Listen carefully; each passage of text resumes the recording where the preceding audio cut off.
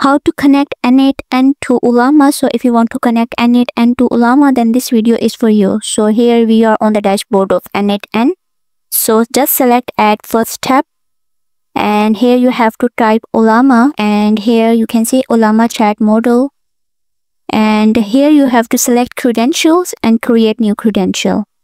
So here you can see you have the base URL and here here you have to select open docs and it will redirect you to this window. And here you can install or run Ollama uh, in your computer. And after that here you can see the base URL that is 11434 so here you can see 11434 and uh, your base URL exactly the same. Then just give save.